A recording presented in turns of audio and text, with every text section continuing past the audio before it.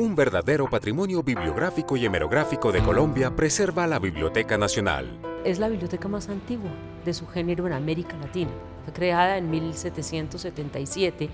Desde entonces em, ha empezado a recoger material de inmensa importancia para la historia y la cultura colombianas. Sin embargo, la continua manipulación de documentos de gran valor histórico se está deteriorando. Nosotros tenemos obligación de conservarlo, no solo de prestarlo, de ponerlo a disposición de las generaciones actuales, sino de conservarlo para generaciones futuras. Por eso miles de estos valiosos documentos se están digitalizando en una moderna biblioteca digital.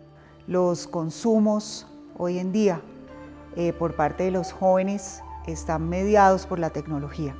Básicamente lo que nosotros queremos a través de la digitalización de todo el tema de la Biblioteca Nacional es eh, la protección a ese patrimonio, que es de todos los colombianos.